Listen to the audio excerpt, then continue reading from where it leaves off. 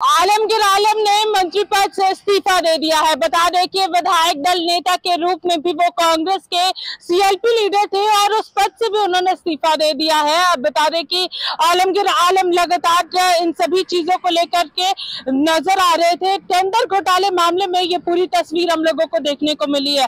सात जून को मुख्यमंत्री चंपई सोरेन ने मंत्री आलमगीर आलम से तमाम विभाग वापस ले लिए थे और अपने पास ही उन्हें उन्होंने सभी विभाग रखा है। चंपई सोरेन की सरकार में आलमगीर आलम, ग्रामीण विकास विभाग, संसदीय कार्य मंत्री, ग्रामीण कार्य और पंचायती राज्य मंत्री के रूप में सारी ज़िम्मेदारी निभा रहे थे और उसके बाद आपको बता दें कि आलमगीर आलम ने कांग्रेस विधायक दल के नेता पद से भी इस्तीफा दे दिया है। इस, इसको लेकर के उन्होंने राष्ट्रीय अध्यक्ष मल्लिकार्जुन खड़गे को अपना सीएलपी लीडर पद से इस्तीफे का पत्र भी भेज दिया है। वहीं कांग्रेस विधायक दल के नेता के पद से भी इस्तीफा देते, देने की पुष्टि जो है वो हो चुकी है।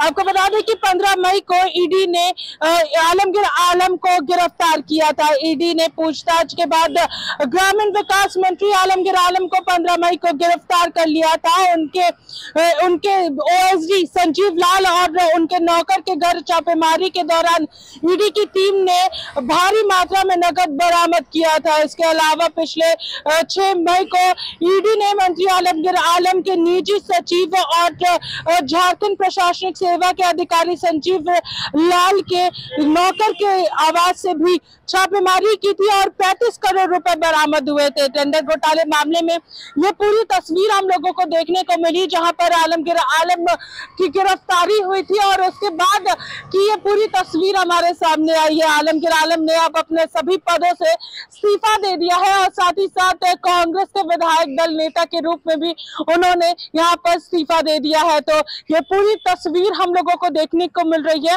पंद्रह मई को ये पूरी घटना हुई थी और उसी दिन आलमगीर आलम की गिरफ्तारी हुई थी, जिसके बाद यहाँ पे चर्चाएँ पहले ही काफ़ी ज़्यादा तेज हो गई थी, लेकिन सात जून को चांपाई सोरेन ने आलमगीर आलम के सभी विभागों को अपने पास रखा।